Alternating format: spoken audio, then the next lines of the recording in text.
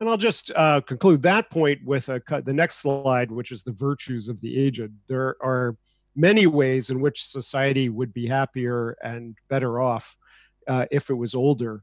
Older people are far less violent than younger people. The majority of violence is correlated with the proportion of a population that is male between the ages of 15 and 25. So the short, the smaller that proportion of the population, the less violence you're going to have.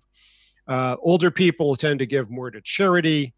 Um, they tend to uh, grow. Now, this is uh, counterintuitive because in most of our societies, older people have less education than younger people, and education has a powerful impact on social values.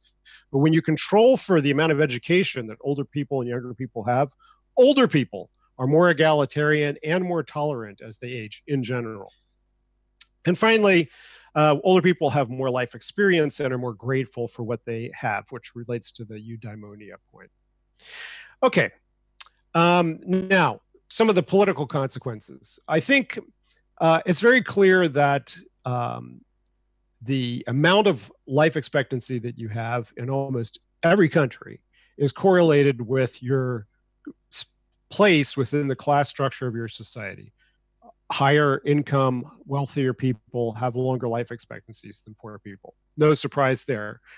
The amount of equality within your country is also a correlative longevity across countries. So, more equal countries, uh, as we just saw, Eastern, uh, Northern European countries in, in, particular, tend to be more long lived. Japan is more long lived than a less equal country, for instance. Um, and so, on both the equality within countries and the equality across countries is important for improving longevity.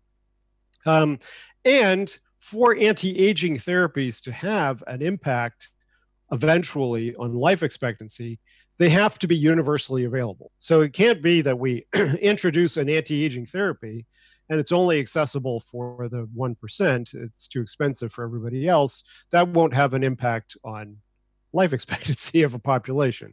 So, and for this to actually move the needle and be considered a good public investment, it has to be accessible eventually to everyone.